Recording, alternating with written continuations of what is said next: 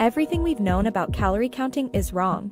If you've been stuck with your progress and just can't seem to get lean, even with low calorie intake and intense training, it's possible that the problem lies in your gut microbiome. In this video, I'll share information that could be the missing piece in your fat loss puzzle. Contrary to popular belief, the best diet for fat loss isn't just about low calorie intake. It's the quality of the food that truly matters. The best diet is the one that nourishes your gut with the right food and is sustainable in the long run. Now that you know, follow or subscribe for more tips.